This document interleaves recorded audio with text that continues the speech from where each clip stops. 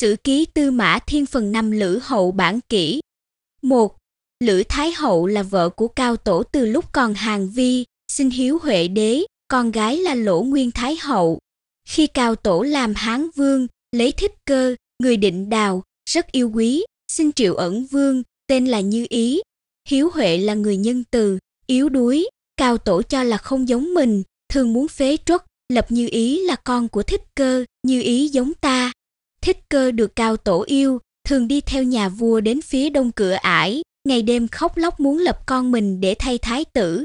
Lữ hậu tuổi cao thường ở nhà, ít khi gặp mặt nhà vua, cho nên càng bị bỏ rơi. Như ý được lập làm triệu vương, đã mấy lần suýt thay thái tử. Nhờ có các quan đại thần can ngăn và nhờ có mưu kế của lưu hầu cho nên thái tử mới không bị truất. Lữ hậu là con người cứng rắn, quyết đoán giúp cao tổ bình định thiên hạ. Các quan đại thần bị cao tổ giết phần lớn do sức của Lữ hậu. Hai người anh Lữ hậu đều làm tướng, người anh cả là Chu Lữ hầu, chết vì nhiệm vụ, người em là Lữ Thái được phong làm lịch hầu và Lữ Sản được phong làm giao hầu. Người anh thứ hai là Lữ Thích Chi làm kiến thành hầu. 2. Năm thứ 12 195 trước công nguyên tháng 4, ngày Giáp Thìn, Cao Tổ mất ở cung Trường Lạc. Thái tử nối ngôi làm hoàng đế. Lúc bấy giờ, Cao Tổ có 8 người con. Người thứ nhất là Phi, anh của Hiếu Huệ, nhưng khác mẹ. Phi làm tề vương, còn tất cả đều là em của Hiếu Huệ. Con của Thích Cơ, tên là Như Ý, làm triệu vương, con của bạc phu nhân tên là Hăng làm đại vương.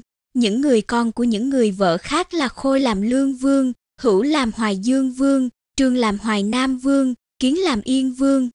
Em của Cao Tổ tên là Giao làm sở vương, con của người anh Cao Tổ tên là Tị lên làm ngô vương. Còn không phải họ lưu thì có thần con của công thần ngô nhuế làm phiến quân được làm trường sa vương. Lữ hậu hết sức oán giận thích phu nhân và người con của phu nhân là Triệu Vương, bèn sai giam thích phu nhân ở cung Vĩnh Hạng và mời Triệu Vương đến. Sứ giả ba lần trở về, Kiến Bình hầu Chu Xương làm tướng quốc nước Triệu Bảo sứ giả. Cao đế giao phó Triệu Vương cho tôi. Triệu Vương hãy còn ít tuổi, tôi trộn nghe Thái hậu oán giận thích phu nhân, muốn mời Triệu Vương về để giết cả hai mẹ con, tôi không dám cho nhà vua đi. Nhà cua lại bị bệnh không thể vâng theo chiếu. Lữ hậu cả giận, bèn sai người gọi tướng quốc nước Triệu về. Tướng quốc nước Triệu về đến Trường An, Thái hậu lại sai người mời Triệu Vương lần nữa. Triệu Vương ra đi.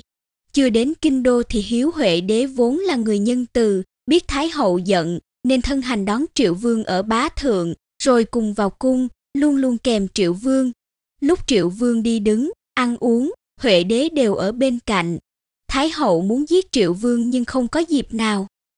Tháng 12, năm thứ nhất của Hiếu Huệ đế năm 194 trước công nguyên nhà vua buổi sớm ra đi bắn.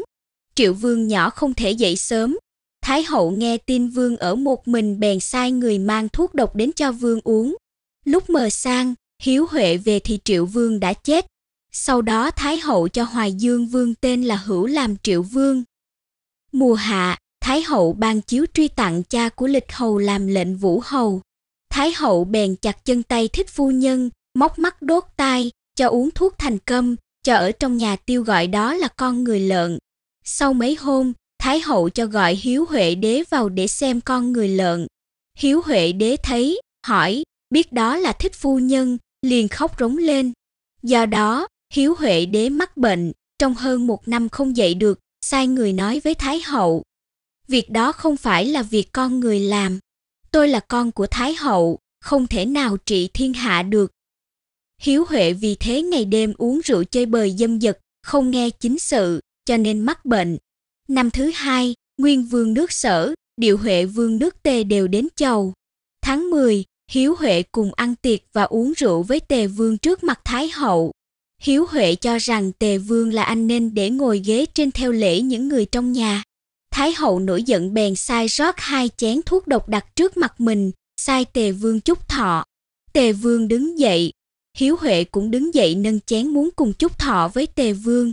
Thái hậu sợ quá, thân hành đứng dậy hất chén rượu của Hiếu Huệ. Tề Vương lấy làm lạ, do đó không dám uống, giả vờ say đi ra. Khi hỏi, biết đó là thuốc độc, Tề Vương sợ hãi, tự cho rằng không thể ra khỏi Tràng An nên rất lo lắng.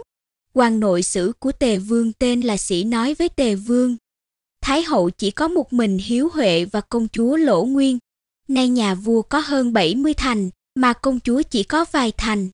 Nếu nhà vua quả thực đem một quận dân cho Thái hậu để làm ấp tắm gội của công chúa thì Thái hậu thế nào cũng mừng rỡ và nhà vua cũng không phải lo ngại gì. Tề vương bèn dân quận Thành Dương, tôn công chúa Lỗ Nguyên làm vương Thái hậu. Lữ hậu mừng rỡ bằng lòng bèn đặt tiệc rượu ở cung riêng của vua Tề, sau khi uống rượu vui vẻ, Thái hậu cho vua Tề trở về nước mình. Năm thứ ba, bắt đầu xây thành Tràng An. Năm thứ tư, thành xây xong được một nửa. Năm thứ năm và năm thứ sáu, thành xây xong, chư hầu đến họp. Tháng 10, chư hầu triều cống chúc mừng. 3. Năm thứ bảy, mùa thu, tháng 8, ngày mậu dần, hiếu huệ đế mất. Phát tang năm 191 trước công nguyên, Thái hậu khóc nhưng không chảy nước mắt. Người con của Lưu Hầu là Trương Tích Cương làm thị trung mới 15 tuổi. Trương Tích Cương nói với thừa tướng, Thái hậu chỉ có một mình Hiếu Huệ. Nay Hiếu Huệ mất, Thái hậu khóc không đau xót, ngài có biết tại sao không? Thừa tướng nói, tại sao vậy? Tích Cương nói, hoàng đế không có con lớn tuổi, Thái hậu sợ bọn các ông. Nay ông xin cho Lữ Thái, Lữ Sản, Lữ Lộc làm tướng, cầm quân giữ các đạo quân ở phía Nam và phía Bắc, cho những người họ Lữ vào giữ các chức vụ trong cung. Làm như thế thì Thái hậu sẽ yên tâm và bọn các ông may mà tránh khỏi tai họa. Thừa tướng bèn làm theo kế của Tích Cương, Thái hậu mừng rỡ, lúc ấy mới khóc thảm thiết, uy quyền họ Lữ bắt đầu từ đó. Thái hậu đại xá thiên hạ, tháng 9, ngày Tân Sửu, chôn cất Huệ đế, thái tử lên ngôi làm hoàng đế vào lễ miếu cao tổ. Từ năm thứ nhất, tất cả các hiệu lệnh đều do Thái hậu đưa ra. Thái hậu gọi mệnh lệnh của mình là chế, bàn việc muốn lập những người họ Lữ làm vương. Thái hậu hỏi tả thừa tướng là Vương Lăng. Vương Lăng nói, Cao đế đã giết con ngựa trắng mà thề, ai không phải họ lưu mà làm vương thì thiên hạ cùng nhau đánh nó. Nay Thái hậu phong cho họ Lữ làm vương thì trái lời giao ước, Thái hậu không bằng lòng, hỏi tả thừa tướng Trần Bình, giáng hầu chu bột. Bọn chu bột trả lời, cao đế bình định thiên hạ, phong con em của mình làm vương. Nay Thái hậu gọi mệnh lệnh của mình là chế, phong anh em họ lữ làm vương thì có gì là không được. Thái hậu mừng rỡ bãi triều. Vương lăng trách thầm Trần Bình và giáng hầu. Trước đây chúng ta cùng cao đế uống máu ăn thề, các ông không có ở đế sao? Nay cao đế băng hà, Thái hậu là người đàn bà làm chủ cả thiên hạ, muốn phong cho họ lữ làm vương, các ông làm theo sở thích, hùa theo ý muốn của Thái hậu, làm trái giao ước thì còn mặt mũi nào mà thấy cao đế ở dưới đất nữa. Trần Bình và Giáng Hầu nói, hôm nay bẻ Thái hậu trước mặt, càng giáng giữa triều đình thì chúng tôi không bằng ông. Nhưng việc bảo toàn xã tắc, giữ vững cho con cháu họ lưu thí ông sẽ không bằng chúng tôi. Vương Lăng không biết trả lời như thế nào. Tháng 11, Thái hậu muốn bãi bỏ Vương Lăng, bèn cho Lăng làm thái phó của đế, cướp quyền thừa tướng của Lăng. Lăng cáo bệnh xin về, Thái hậu bèn cho thẩm tự cơ làm tả thừa tướng, Trần Bình làm hữu thừa tướng. Tả thừa tướng không làm việc nước, xem xét việc trong cung như một viên lang trung lệnh. Tự cơ được Thái hậu yêu từ trước, thường tin dùng. Các công khanh đều do ông ta mà giải quyết mọi việc, Thái hậu bèn truy tôn cha của lịch hậu làm điệu vũ vương, muốn nhân đó dần dần phong cho những người họ lữ làm vương. Tháng tư, Thái hậu muốn phong cho những người họ lữ làm hầu nên trước tiên phong những người công thần của cao tổ. Lan Trung lệnh vô trạch được phong làm bác thành hầu, Lỗ Nguyên công chúa chết được tặng tên Thụy là Lỗ Nguyên Thái hậu. Con của Lỗ Nguyên là Yến được phong làm Lỗ Vương. Cha của Lỗ Vương là Trương Ngao được phong làm Tuyên Bình hầu. Chương, con của điệu huệ vương nước tề, được phong làm chu hư hầu. Thái hậu gả con gái của Lữ Lộc cho ông ta. Tướng quốc nước tề tên là Thọ được phong làm Bình Định hầu. Hoàng thiếu phủ tên là Diên được phong làm Ngô hầu. Thái hậu muốn phong vương cho họ Lữ nên trước đấy phong cho những người con của những người thiếp của Hiếu Huệ. Cường được phong làm Hoài Dương vương, Bất Nghi được phong làm Thường Sơn vương, Sơn được phong làm Tương Thành hầu. Triều được phong làm chỉ hầu, Vũ được phong làm hạp quan hầu. Thái hậu gợi ý cho các quan đại thần, các quan đại thần xin lập lịch hầu Lữ Thái làm Lữ Vương. Thái hậu ưng thuận. Lữ Thích Chi làm Khang hầu ở Kiến Thành mất, người con nối nghiệp có tội bị truất, người con út là Lữ Lộc được lập làm Hồ Lăng hầu để nối tiếp Khang hầu. Hai năm sau, Thường Sơn Vương mất, Thái hậu cho người em của Thường Sơn Vương là Tương Thành Hầu tên là Sơn làm Thường Sơn Vương, đổi tên ông là Nghĩa. Tháng 11, Lữ Vương La Thái mất, được tặng tên Thụy là Túc Vương. Thái tử gia thay thế được lập làm vương. Năm thứ ba, không có việc gì. Năm thứ tư, phong Lữ Tu làm lâm quan hầu, Lữ Đà làm thân hầu, Lữ Canh Thủy làm chuế kỳ hầu, Lữ Phẫn làm Lữ Thành hầu và phong năm người làm thừa tướng của chư hầu. Con gái của Tuyên Bình hầu làm Hiếu Huệ hoàng hậu, không có con, giả làm có mang lấy con một người thiếp làm con mình và lập làm thái tử, rồi giết người mẹ. Hiếu Huệ mất, thái tử được lập làm hoàng đế. Khi đế lớn lên, nghe nói mẹ mình bị giết, mình không phải là con của hoàng hậu, bèn nói: "Hoàng hậu làm sao có thể giết mẹ ta mà gọi ta là con? Giờ ta còn bé, nếu ta trưởng thành thì sẽ thay đổi." Thái hậu nghe tin ấy lấy làm lo lắng, sợ đế làm loạn, bèn giam đế ở cung Vĩnh Hạng, nói rằng hoàng đế bị mắc bệnh nặng. Các quan hầu không được thấy mặt. Lữ hậu nói, ai có thiên hạ là nắm cái vận mệnh của vạn dân cũng như trời che đất chở vậy. Nhà vua trong lòng vui vẻ để làm cho trăm họ được yên, trăm họ vui vẻ để thờ phụng nhà vua. Trên dưới vui vẻ hòa hợp nên thiên hạ được yên. Nay hoàng đế mắc bệnh đã lâu không khỏi, lại mất trí, hôn loạn, không thể tiếp tục phụng thờ tôn miếu xã tắc, không thể giao phó thiên hạ được, cần phải thay người khác. Quần thần đều đập đầu nói, Hoàng Thái Hậu vì thiên hạ và toàn dân mà tính kế, để có thể làm cho tôn miếu xã tắc được yên ổn lâu dài. Bọn bầy tôi đập đầu tuân theo lời chiếu. Đế bị phế truất, Lữ Hậu giam rồi giết đi. Tháng năm ngày Bính Thìn, lập Thường Sơn Vương tên là Nghĩa làm đế, đổi tên là Hoàng, nhưng không gọi là năm đầu vì Thái hậu ra các chế để trị thiên hạ. Thái hậu phong chỉ hầu tên là Triều làm Thường Sơn Vương, đặt chức quan Thái úy. Giáng hầu Chu Bột được làm Thái úy. Năm thứ năm, tháng 8, Hoài Dương Vương chết, người em tên là Vũ làm Hồ quan hầu được phong làm Hoài Dương Vương. Tháng 10 năm thứ sáu, Thái hậu nói, Lữ Vương tên là Gia Ăn ở kiêu ngạo hống hách nên bị trốt phế. Cho Lữ Sản, em của Túc Vương thai làm Lữ Vương. Mùa hạ, đại xá thiên hạ, phong hưng cư, con của điệu huệ vương nước tề, làm đông mâu hầu. Năm thứ bảy tháng giêng, Thái hậu cho mời triệu vương hữu đến. Hữu lấy con gái họ Lữ làm hoàng hậu, nhưng không yêu mà yêu người vợ khác. Người con gái họ Lữ ghen, giận bỏ đi, dèm với Thái hậu, vu tội ông ta đã nói, họ Lữ làm sao làm vương được. Nếu Thái hậu trăm tuổi rồi, thế nào ta cũng sẽ đánh họ. Thái hậu nổi giận, cho mời Triệu Vương đến. Thái hậu cho ở trong cung điện riêng không cho ý kiến. Thái hậu sai bọn vệ binh vây giữ, không cho ăn uống. Bọn bầy tôi có người đưa cơm trộn, Thái hậu liền bắt và trị tội. Triệu Vương đói bèn hát.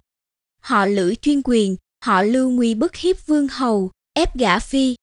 Đàn bà ghét ghen vu việc ác, bọn hại nước kia, trên chẳng xét, ta không tôi trung, sao về đây? Chết nơi đồng hoang còn thơm lây hối đã muộn, thà tự sát, làm vui chết đói, ai thương xót. Riêng cậy trời cao trả hận cừu, giết bọn bạo tàn cứu họ lưu. Ngày đinh sửu, triệu vương bị giam mà chết. Thái hậu chôn cất theo lễ người dân thường ở ngoài nghĩa địa của dân chúng ở Trường An. Ngày kỷ sửu, coi nhật thực, ban ngày tối đen. Thái hậu ghét điều đó, trong lòng không vui bèn bảo các quan hầu. Đó là vì ta. Tháng 2 dời Lương Vương Khôi làm Triệu Vương, Lữ Vương Sản được dời làm Lương Vương. Lương Vương không về nước của mình, mà làm thái phó của đế. Thái hậu lập Bình Xương hầu Lữ Thai làm Lữ Vương, đổi tên đất Lương gọi là đất Lữ, và đất Lữ lại đổi là Tế Xuyên. Người em gái của Thái hậu là Lữ Tu có người con gái là vợ của Dinh Lăng hầu Lưu Trạch, trạch làm đại tướng quân. Thái hậu phong vương họ Lữ, sợ sau khi mình chết đi, Lưu tướng quân sẽ giết họ Lữ bèn cho Lưu Trạch làm Lan gia vương để làm vừa lòng ông ta. Lương Vương Khôi bị dời đi làm vương ở Triệu trong lòng không vui. Thái hậu cho con gái của Lữ Sản là hoàng hậu của Triệu Vương. Các quan theo hầu hoàng hậu đều là những người họ Lữ, họ chuyên quyền và theo dõi ngầm Triệu Vương. Triệu Vương cảm thấy tù túng. Vương có người thiếp yêu quý bị hoàng hậu sai người cho uống thuốc độc chết. Vương bèn làm bài ca gồm bốn đoạn, sai nhạc công hát. Vương đau buồn, tháng 6 thì tự sát. Thái hậu nghe tin ấy, cho là vương vì một người đàn bà mà vứt bỏ lễ ở tôn miếu, bèn phế trốt người thừa tự của vương. Tuyên Bình hầu trương Ngao chết, người con là Yến được phong làm lỗ vương, Ngao được tặng tên Thụy là lỗ nguyên vương. Mùa thu, Thái hậu sai sứ giả nói với đại vương muốn đưa đại vương đi làm vua ở Triệu. Đại vương từ tạ xin giữ biên giới của đất đại. Thái phó là sản và thừa tướng là Bình nói với Vũ Tín hầu Lữ Lộc là vị hầu lớn nhất, địa vị cao nhất vậy xin lập làm Triệu vương. Thái hậu ưng thuận, truy tôn cha của Lộc là Khang hầu làm Triệu chiêu vương. Tháng 9, Yên Linh vương Lưu Kiến chết. Ông ta có một con là con người thiếp, Thái hậu sai giết đi nên không có người nối dõi và nước bị bỏ. Năm thứ 8, tháng 10, lập con của Lữ Túc Vương là Đông Bình Hầu Lữ Thông làm Yên Vương, phong em trai của Thông là Lữ Trang làm Đông Bình Hầu. Vào giữa tháng 3, Lữ Hậu đi tế về qua chỉ đạo, thấy một con vật như con chó xanh ở bên nách của mình rồi đột nhiên không thấy nữa. Sai bói xem thì nói đó là con ma của Triệu Vương như ý. Cao Hậu tự nhiên bị bệnh đau ở nách. Cao Hậu cho rằng người cháu ngoại của mình là Yến, làm lỗ nguyên vương, ít tuổi, mất cha mẹ từ lúc còn nhỏ, cô độc yếu ớt, bèn phong cho hai người con của người vợ trước của Trương Ngao là sĩ làm Tân Đô Hầu và Thọ làm Nhạc Xương Hầu để giúp Lỗ Nguyên Vương là Yến. Lại phong Trương Đại Yết giả Trương Thích làm Kiến Lăng Hầu, Lữ Vinh làm Trúc Tư Hầu, những người hoạn quan làm lệnh hay làm thừa đều được làm quan nội hầu, phong ấp 500 hộ để tiêu dùng. Vào giữa tháng 7, Cao Hậu mắc bệnh nặng bèn sai Triệu Vương Lữ Lộc làm thượng tướng quân, coi cánh quân ở phía Bắc, Lữ Vương là sản coi cánh quân phía Nam. Lữ Hậu dặn Lữ Sản và Lữ Lộc. Sau khi bình định thiên hạ, Cao đế có giao ước với các quan đại thần, ai không phải họ Lưu mà làm vua thì thiên hạ cùng đánh nó. Nay họ Lữ làm vương, các quan đại thần không chịu. Nếu ta chết đi, hoàng đế còn ít tuổi, sợ các quan đại thần gây biến loạn. Ngươi phải cầm quân giữ lấy cung, chớ có đi theo đám tang, đừng để cho người nào áp chế mình. Ngày Tân Tỵ, Cao Hậu chết, di chiếu cho vua các nước chư hầu mỗi người một nghìn cây vàng. Các quan văn võ, liệt hầu, các quan lang và các viên lại đều được thưởng vàng theo trác của mình. Đại xá thiên hạ, cho Lữ Vương Sản làm tướng quốc, cho con gái của Lữ Lộc làm hoàng hậu. Khi Cao Hậu đã chết, tả thừa tướng là Thẩm Tự Cơ được làm thái phó của đế. 4. Chu Hư Hầu Lưu Chương là người có dũng khí và sức mạnh. Đông Mâu Hầu Hưng Cư là em của ông ta. Hai người đều là em của Tề Ai Vương, sống ở Tràng An. Lúc bấy giờ, họ Lữ chuyên quyền muốn làm loạn nhưng sợ bọn đại thần của Cao Tổ là Giáng Hầu, Quán Hầu nên chưa dám khởi sự. Chu Hư Hầu lấy vợ là con gái Lữ Lộc, biết ngầm âm mưu ấy, sợ bị giết bèn sai người ngầm nói với người anh là Tề Vương, xin Tề Vương đem binh về hướng Tây giết họ Lữ mà làm vua, còn Chu Hư Hầu cùng các quan đại thần sẽ làm nội ứng. Tề Vương muốn đem quân đi nhưng quan tướng quốc không nghe. Tháng 8 ngày Bính Ngọ, Tề Vương sai người giết quan tướng quốc. Tướng quốc Thiệu Bình bèn làm phản, cầm quân muốn vây nhà vua. Nhà vua nhân đấy giết tướng quốc và đe, binh về phía đông, rồi dùng kế đánh lừa, đoạt binh của Lan Gia Vương rồi cầm đầu cả hai đạo quân mà đi về phía Tây. Việc này kể trong phần nói về Tề Vương. Tề Vương đưa thư cho vua Chư Hầu nói, Cao đế bình định thiên hạ, phong cho các con em làm vua. Điệu Huệ Vương làm vua nước Tề, Điệu Huệ Vương chết. Hiếu Huệ đế sai Lưu Hầu Trương Lương lập tôi làm Tề Vương. Khi Hiếu Huệ chết, Cao Hậu cầm quyền, tuổi cao, nghe lời bọn họ Lữ, chuyên quyền phế truất hoàng đế lập người khác. Lại giết liên tiếp ba triệu vương, diệt các nước Lương, Triệu, Yên để phong vương cho họ Lữ, chia nước Tề làm bốn. Các trung thần can ngăn nhưng Cao Hậu bị mê hoặc không chịu nghe. Nay Cao Hậu mất đi, hoàng đế tuổi còn nhỏ, chưa có thể trị thiên hạ, phải nhờ cậy ở các quan đại thần và chư hầu. Nhưng bọn họ lữ lại chuyên quyền, tự tôn minh làm quan to, tu tập binh sĩ, uy hiếp dữ dội các liệt hầu và trung thần, tự ban hành các chế để sai khiến thiên hạ, khiến cho tôn miếu bị nguy. Quả nhân đem binh vào giết những kẻ không có quyền làm vương. Nhà Hán nghe tin ấy, bọn tướng quốc lữ sản bèn sai dĩnh âm hầu quán anh cầm binh ra đánh. Quán anh đến Huỳnh Dương bèn bàn mưu. Bọn họ lữ nắm lấy binh quyền ở quan Trung, muốn làm nguy hại đến họ lưu mà tự lập. Này nếu ta phá quân tề quay trở về báo, tức là giúp thêm cho ho lữ. Quán anh bèn ở lại, đóng đồn ở Huỳnh Dương, sai sứ giả về báo với tề vương và chư hầu, cùng nhau liên minh để đợi khi họ lữ làm biến sẽ tiêu diệt. Tề vương nghe tin ấy bèn đem binh về biên giới phía Tây, muốn chờ đợi giao ước. Lữ Lộc, Lữ Sản muốn gây loạn ở quan Trung nhưng bên trong thì sợ bọn Giang Hầu, Chu Hư Hầu, bên ngoài thì sợ quân các nước Tề, Sở, lại sợ quán Anh làm phản, muốn chờ khi nào quân của quán Anh đánh nhau với quân của Tề thì sẽ khởi sự, trong lòng đang do dự chưa quyết định. Lúc bấy giờ, Tế Xuyên Vương Thái, Hoài Dương Vương Vũ, Thường Sơn Vương Triều, về danh nghĩa là em của thiếu đế lại là cháu ngoại của Lỗ Nguyên Vương con Lữ Hậu. Họ đều còn ít tuổi và chưa về nước mà vẫn ở Trường An. Triệu Vương Lữ Lộc và Lương Vương Lữ Sản đều cầm quân, một người cầm đầu đạo quân ở phía Nam, một người cầm đầu đạo quân ở phía Bắc. Họ đều là người họ Lữ, các liệt hầu và quần thần ai cũng không chắc số mệnh mình sẽ sống. Hoàng Thái úy là giáng hầu chu bột lại không thể vào trong chỗ đóng quân để cầm đầu quân sĩ. Khúc chu hầu lịch thương đã già và ốm, người con tên là Ký là bạn thân của Lữ Lộc. Giáng hầu bèn bàn với thừa tướng Trần Bình sai người ép lịch thương bảo người con của mình là Ký đến lừa Lữ Lộc nói. Cao đế và Lữ hậu cùng nhau bình định thiên hạ, Chính vua mà họ lưu lập lên và ba vua mà họ lữ lập lên đều do các quan đại thần bàn bạc và đã báo cáo cho các chư hầu, chư hầu đều cho là phải. Nay Thái hậu băng hà, đế còn ít tuổi, Túc Hạ mang ấn triệu vương không về ngay nước của mình để giữ đất phong, lại làm thượng tướng quân, cầm binh ở lại đây, thì sẽ bị các quan đại thần và chư hầu nghi ngờ. Tại sao Túc Hạ lại không trao ấn tướng quân cho Thái úy, nói với Lương Vương trả lại ấn tướng quốc cùng ăn thề với các quan đại thần mà về nước.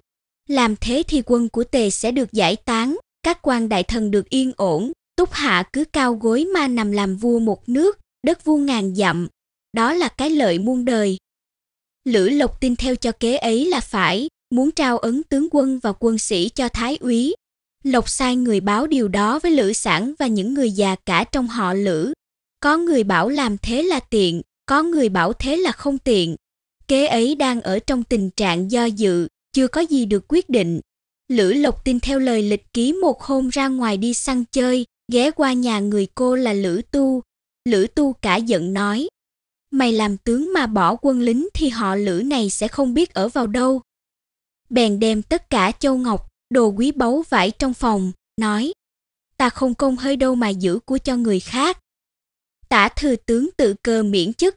Tháng 8, ngày canh thân vào buổi sáng, Bình Dương hầu Tào Truất làm chức ngự sử đại phu, ý kiến tướng quốc lữ sản bàn công việc. Lan Trung lệnh giả thọ đi sứ ở Tề về, nhưng đấy trách sản. Nhà vua sao không sớm về nước, nay tuy muốn đi, đi làm sao được. Và kể lại với sản tất cả việc quán anh hợp cùng với quân Tề, sở muốn diệt họ lữ. Giả thọ liền dục sản vào ngay trong cung, Bình Dương Hầu nghe được những lời này liền rủi ngựa báo với thừa tướng và thái úy. Thái úy muốn vào chỗ đóng quân ở phía bắc nhưng không vào được. Tương Bình Hầu kỹ thông giữ các phù và các cờ tiết. Thái úy bèn bảo kỹ thông cầm cờ tiết giả làm lệnh vua trao cho thái úy cầm đầu đạo quân phía bắc. Thái úy lại ra lệnh cho lịch ký và điển khách là Lưu Yết trước đấy thuyết phục Lữ Lộc, nói Hoàng đế đã sai thái úy cầm đạo quân phía Bắc, muốn túc hạ trở về nước, xin Túc Hạ đưa ngay ấn tướng quân, cáo từ để về, nếu không thì tai họa xảy ra. Lữ Lộc tin rằng lịch ký không lừa mình bèn cởi ấn trao cho viên điển khách và giao cho Thái úy cầm quân. Thái úy cầm đầu binh sĩ, đi vào cửa quân, ra lệnh cho ba quân. Ai theo họ Lữ thì sắn tay áo bên phải lên, ai theo họ Lưu thì sắn tay áo bên trái lên. quân sĩ đều sắn tay áo bên trái theo họ Lưu. Thái úy vừa đến thì tướng quân Lữ Lộc cởi bỏ ấn thượng tướng quân mà ra đi. Thái úy bèn cầm đầu đạo quân phía Bắc, nhưng vẫn còn đạo quân phía Nam. Bình Dương Hầu nghe câu chuyện bèn báo cho thừa tướng Trần Bình biết âm mưu của Lữ Sản. Thừa tướng Trấn Bình bảo Chu Hư Hầu giúp Thái úy. Thái úy ra lệnh Chu Hư Hầu xem xét cửa quân, ra lệnh cho Bình Dương Hầu bảo viên úy cầm đầu những người giữ cửa cung không cho tướng quốc Lữ Sản vào cửa điện. Lữ Sản không biết rằng Lữ Lộc đã rời bỏ đạo quân phía Bắc, bèn vào cung vị ương, muốn làm loạn. Những người giữ cửa điện không cho Sản vào, Sản đang băn khoăn đi đi lại lại, Bình Dương hầu sợ không thắng được, rủi ngựa nói với Thái úy. Thái úy cũng còn sợ không thắng được họ Lữ nên chưa dám nói trắng là giết họ. Bèn sai người nói với Chu Hư hầu, vào ngay cung để bảo vệ hoàng đế. Chu Hư hầu xin binh sĩ, thái úy cấp cho hơn một nghìn người. Chu Hư hầu vào cung vị ương, liền gặp sản ở trong sân. Lúc bấy giờ là lúc ăn chiều, Chu Hư hầu đâm sản, sản bỏ chạy. Trời nổi gió to, cho nên các quan theo sản hỗn loạn, không ai dám chiến đấu. Chu Hư hầu bèn đuổi theo sản và giết ở trong nhà tiêu của những người lại ở phủ Lan Trung. Sau khi Chu Hư hầu đã giết được sản, đế sai yết giả cầm cờ tiết ra úy lão Chu Hư hầu. Chu Hư hầu muốn cướp cờ tiết nhưng quan yết giả không chịu.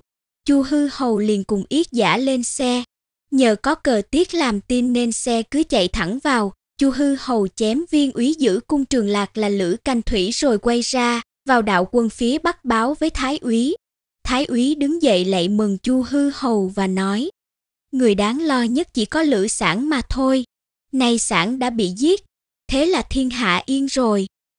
Bèn sai người chia nhau thành từng bộ phận, bắt tất cả những người họ Lữ, không kể trai gái, già trẻ đều chém hết, Ngày Tân Dậu, bắt và chém Lữ Lộc, lấy roi đánh chết Lữ Tu, sai người giết Yên Vương Lữ Thông, phế truất lỗ Vương Trương Yến. Ngày Nhâm Tuất, cho quan thái phó của đế là tự cơ lại làm tả thừa tướng. Ngày Mậu Thìn, dời Tế Xuyên Vương đến làm vua ở đất Lương, sai Chu Hư Hầu là chương giết bọn họ Lữ và báo việc ấy với Tề Vương, bảo Tề Vương bãi binh.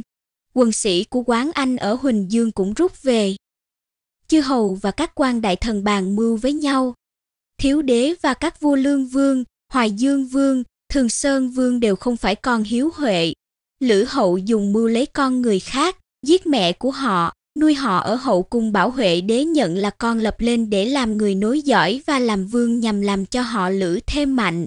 Nay chúng ta đã giết hết họ lữ mà lại để người của họ lập lên, đến khi lớn thiếu đế cầm quyền thì chúng ta sẽ mất nòi không bằng xem trong các vương người nào tài giỏi nhất thì ta lập nên. Có người nói tề điệu vương là con trưởng của cao đế, nay người con đầu làm tề vương, nếu cứ xét đến gốc thì ông ta là cháu đích tôn của cao đế, có thể lập được. Các quan đại thần đều nói, họ lữ là họ ngoại của vua nhưng độc ác nên đã suýt nữa làm nguy hại đến tôn miếu, làm loạn các công thần. Nay trong gia đình mẹ tề vương có tứ quân, tứ quân là người ác, nếu lập tề vương thì lại trở thành họ lữ. Người ta muốn lập hoài nam vương nhưng lại cho là ít tuổi, nhà bên mẹ lại ác. Các quan đại thần bèn nói, đại vương này là người con lớn nhất trong số những người con của cao đế còn sống. Người nhân đức, có hiếu, rộng rãi và trung hậu. Gia đình Thái hậu họ bạc lại chăm chỉ và tốt. vả lại chúng ta lập người con lớn hơn cả cho nên hợp lẽ, Đại vương nổi tiếng trong thiên hạ về nhân và hiếu, như thế là tiện. Các quan bèn bàn nhau, ngầm sai người mời đại vương. Đại vương sai người từ tạ, sứ giả đi về hai lần. Sau đó đại vương lên đoàn xe gồm có sáu cổ. Tháng 9 nhuận, ngày cuối tháng là ngày kỷ dậu, xe đến Tràng An. Đại vương ở tại cung riêng của mình. Các quan đại thần đều đến ý kiến dân ấn thiên tử lên đại vương, tất cả cùng nhau tôn làm thiên tử. Đại vương mấy lần từ tạ, quần thần cố nài, sau đó đại vương mới ưng thuận. Đông mâu hầu hưng cư nói, trong việc giết họ lữ tôi không lập được công lao gì, xin được phép dọn dẹp cung điện. Bèn cùng quan thái bộc là nhữ ám hầu đằng công vào cung, đến trước mặt thiếu đế nói, Túc Hạ không phải họ lưu, không có quyền làm vua. Bèn quay lại, ra hiệu cho những người cầm giáo xung quanh hãy vất binh khí xuống đất mà lui ra. Có mấy người không chịu vất binh khí. Người cầm đầu các hoạn quan là Trương Trạch ra lệnh cho họ, họ cũng vất binh khí luôn đàn công bèn sai lấy cái xe ngựa của nhà vua chở thiếu đế ra.